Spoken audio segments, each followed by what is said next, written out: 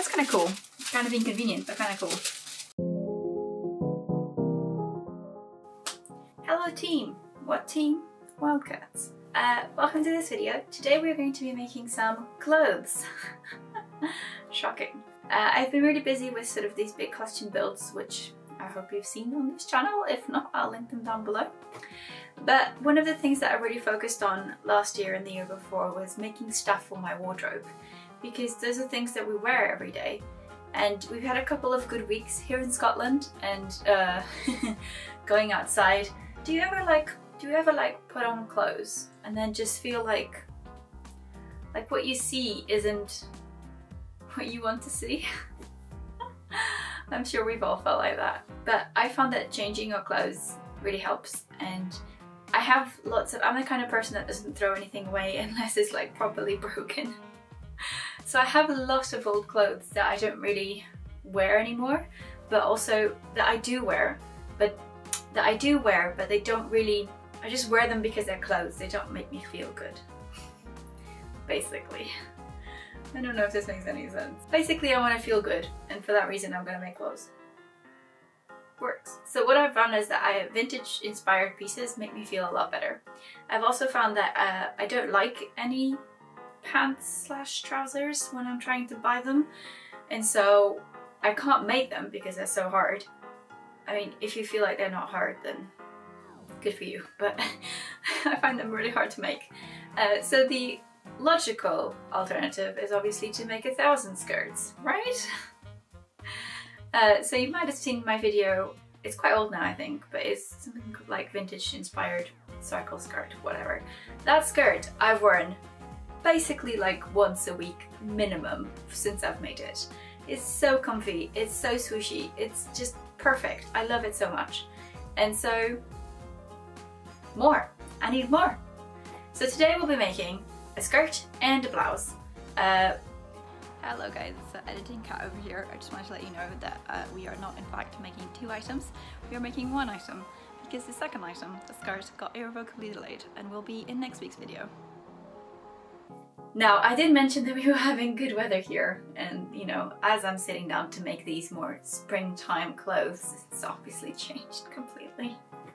And it's now raining. But whatever, I'm still gonna make them. See, it's murky outside. But if you're ever feeling down, I highly recommend getting some flowers. Look at these! I grew these from seeds. It's freaking amazing! I love them so much. Um, I think it'll be really nice to focus on small items. And the other thing I want to do is to not put so much pressure on myself because with historical clothing, you just, I just feel so pressured to make everything perfect and you know, as accurate as possible and make everything super me, you know? The blouse is gonna, is gonna be based on a pattern that I already have and it's sort of a, a peasant blouse style. So let's go over to fabrics and design, I guess. Also, I've been trying to make my background as aesthetic as possible, but maybe I've overdone it now and it's just too crowded. But I love it.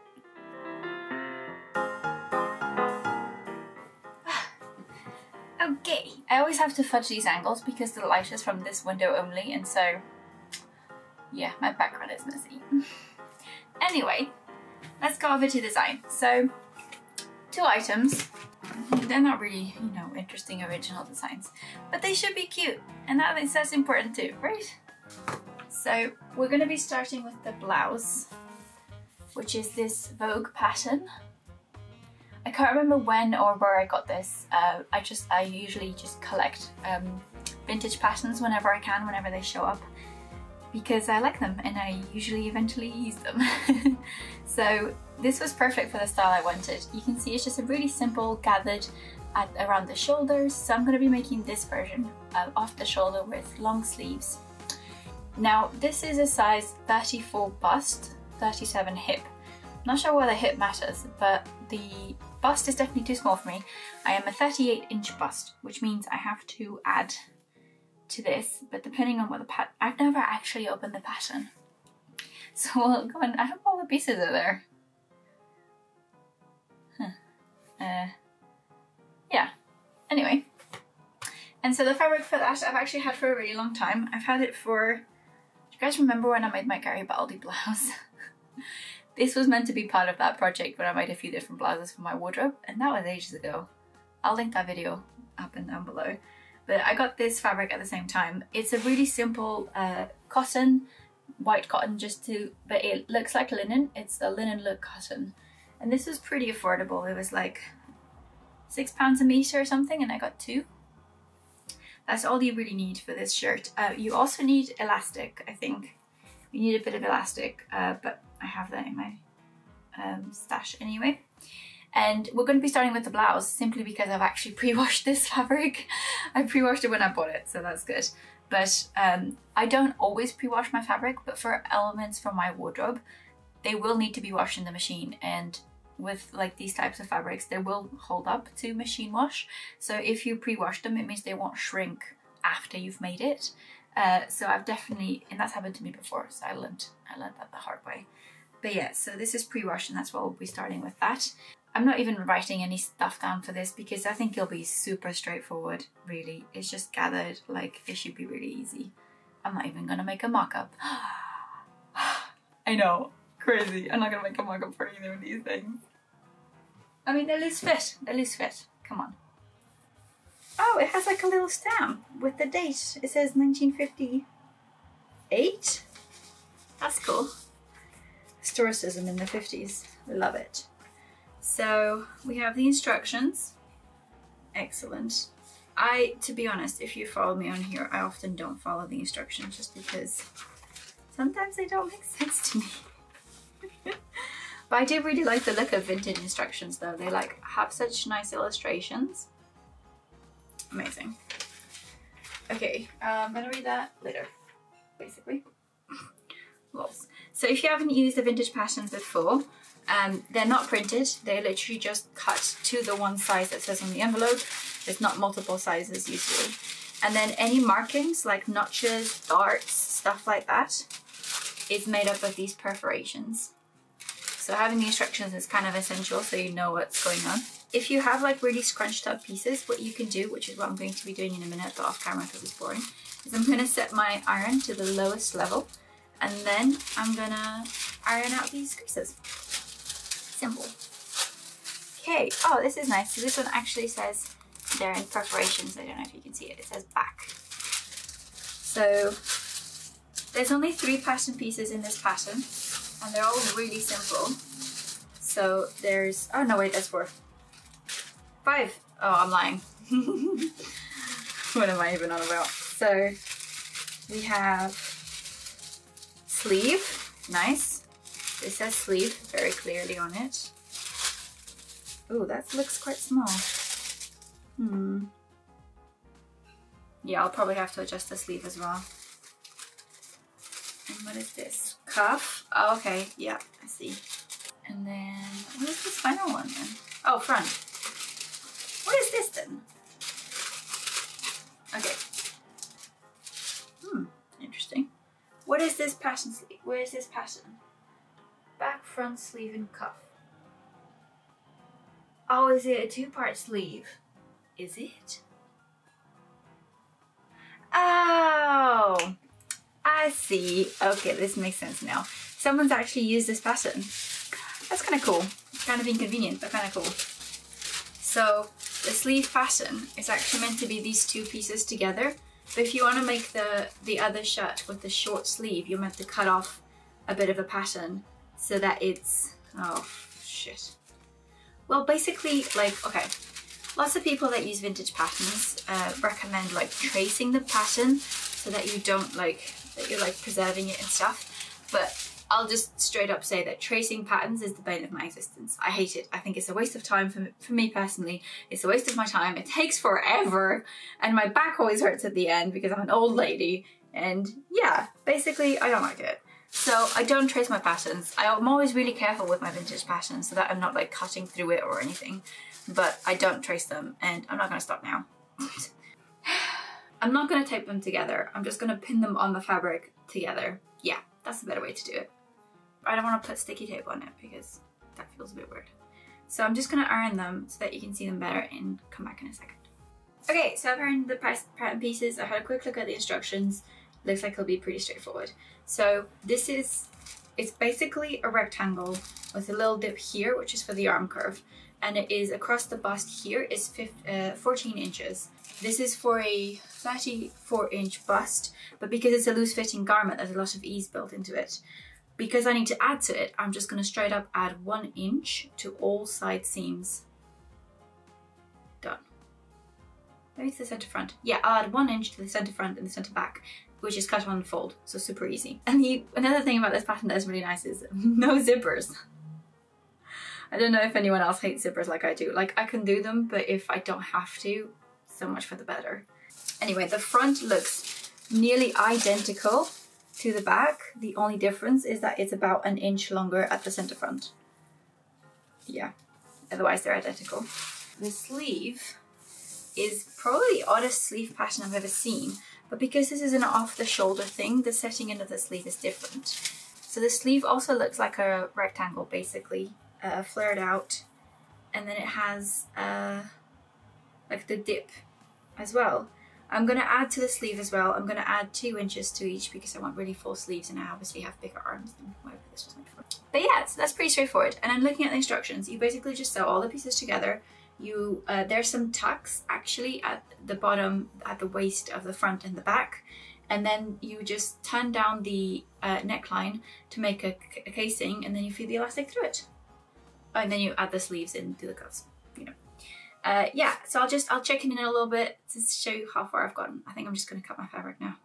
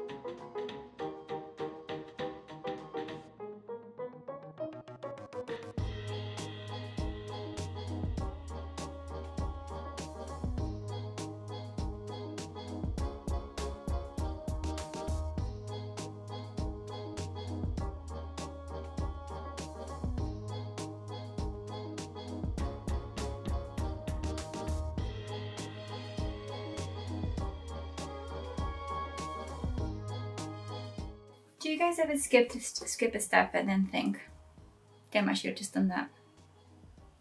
I do that a lot. Basically, I should have ironed this fabric, um, but I didn't. Why, you ask? Because I'm lazy. But now I've marked all of the like, um, the markings with the heat erasable pen. so I'm not gonna iron it now. What's the worst that could happen? So the first step that the pattern tells you to do is to uh, sew these tucks. Uh, I'm not sure why the tucks are here. I guess it's so you don't have to gather the bottom, but you still sort of control that fullness, I guess. I'm going to sew them in. I'm going to do it with quite a large stitch because um, once I try it on, if I don't like it, I'll just rip them out.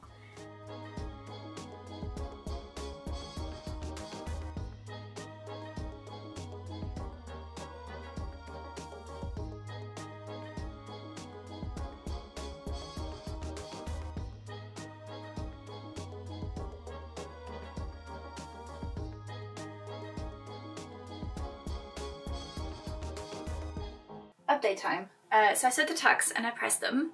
They look good, interesting. And I think I could just show you. This is the inside here. You can see the tucks. There's two on each side of the center and the center front and the center back. And then I just pinned on the sleeves. And the sleeves is really weird, so I thought I'd just show you so you guys can sort of understand. Um, this is the kind of moment that makes me question, like, why are we doing things this way? Why are the instructions this way? Why? But you know what? I'm doing it. I'm doing it. I mean, 1950s Vogue can't be wrong, right? uh, so basically I've pinned the sleeve on to the front and the back right sides together, but you might notice that the side seams of either bits aren't done. So it's just pinned literally like this. And it kind of forms a circle along the neckline. I hope that makes any sense. So it's just pinned along the armhole curve, but it's open on both ends. And what they tell you to do is sew this and then press it, finish it, I guess. And then you can just sew up the side seam of the actual blouse into the arm and sew the, the sleeve side seam also all in one go. I don't know, I'm gonna try it and then I'll, I'll let you know how it goes. So, progress has been made. This is the blouse as it stands. It doesn't look like much, I'll be honest. But you can kind of tell where it's going, right? Yeah.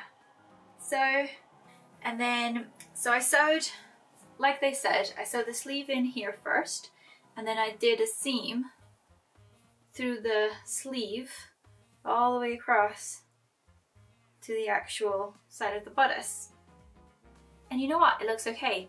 The only thing I'm concerned about is how I'm going to finish these seams. I'd rather do it by machine just so it's, you know, stronger and quicker. But these are these are, these seams are quite hard to get to. But I think what I'm going to do is I'm going to trim back the seam allowances and then so here you can see I'll trim both of them back and then fold this one over the top of the trimmed one and just sew it down like that so it encases it. So I'm just going to finish the seams and then I think the next step is actually to do the casing at the top. So for the casing they just tell you to turn it in. I'm going to do it twice so it's like a finished edge. And I'm going to sew it down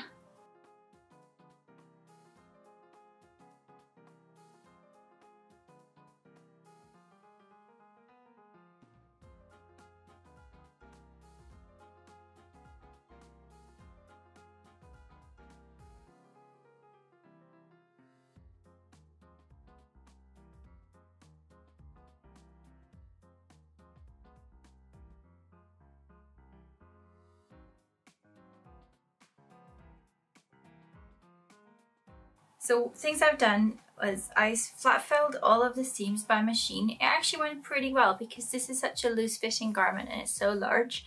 You can sort of scrunch up as you're pushing it under the machine. And you can see there, yeah, it's a pretty clean finish if you can see there.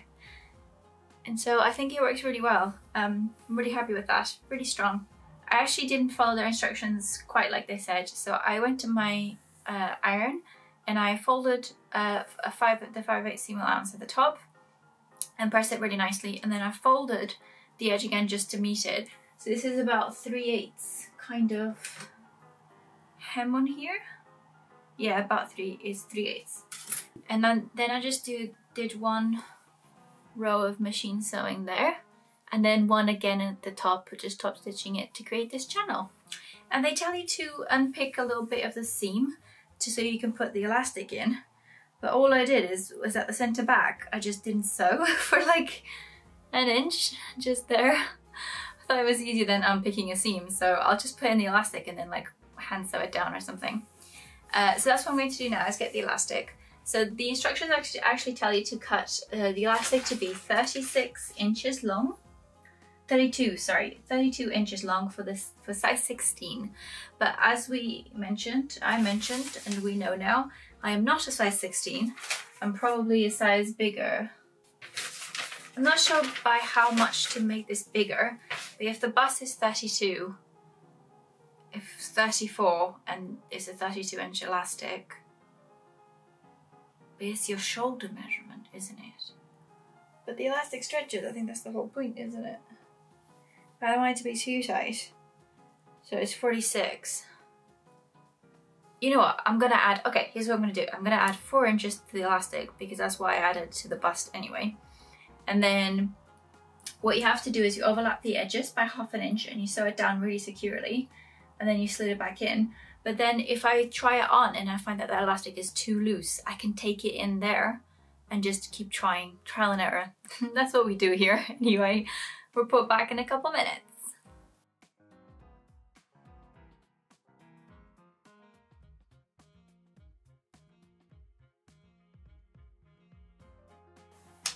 So, I have stitched the uh, elastic together. So there's just one loop now and I tried it on. Uh, I had to tighten it after adding that extra bit of elastic. So here we are.